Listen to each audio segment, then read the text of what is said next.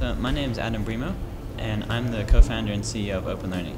And Open Learning focuses on making online education more fun, enjoyable, and effective. So at the moment, um, a lot of people do online courses either at university or in the companies that they work at, but they're really very boring. You're just sitting there, you know, reading things online or watching a video, and it doesn't really do anything for you. And if you look at university and at school, the experiences that you had that really meant something to you, that where you really learned something, was where you were with other people, helping each other out, solving problems, working together. So that's what we encourage in Open Learning, building a community online, not just delivering content in a course. My name is David, David Collien. I'm, I wear a couple of hats at Open Learning. Uh, um, my, my official sort of role here is to look after the product and look after um, the engineering side of it and the architecture of, of, of the product. And I don't think that anyone is quite utilizing the medium of of the internet and, and uh, the interaction that we have and the, the, scope of what we have available there um, to the ends of, of really good effective education yet and I think that that's what we're really striving to do um, so what is really important for me to make education effective is to make it really empowering and motivating and, and encouraging for the students. Publishing your lectures online and publishing your notes online is like the first step. They've, they've taken the first step to getting what they're doing online, but they haven't actually taught a course online because a course is a lot more than just the lectures or the content.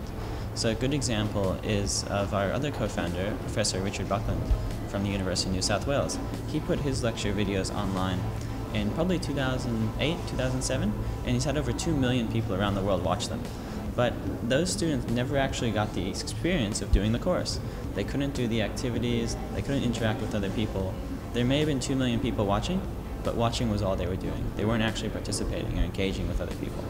So based on that experience, when we put that course on Open Learning, the students couldn't just watch the lectures now, they could actually do things. They were learning and they formed a really strong community. They made new friends. They met people all around the world, and they really engaged with each other.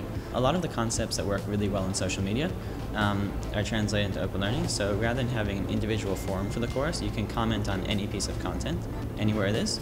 Um, you have your own blog, so you can easily, you know, blog about things. There's instant messaging, so you can chat to anyone who's online in the course.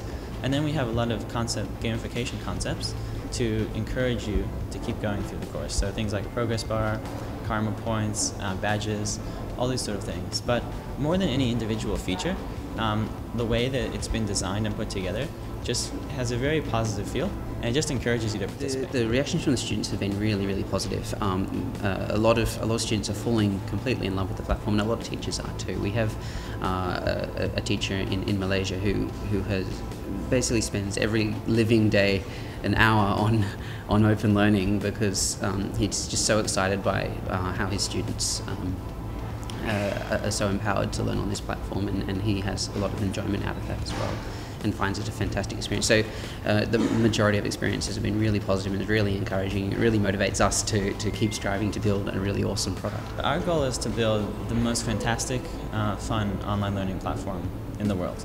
And we want everyone to be able to use it, to be able to take courses on it whether you're taking courses at a high school level or at university or out in corporate training.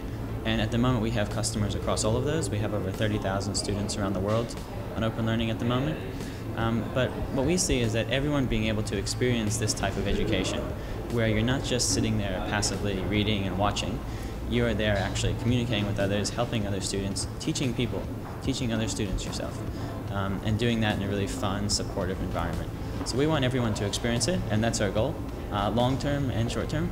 In the near term, we're just focused on really improving the platform and getting it out there as much as we can.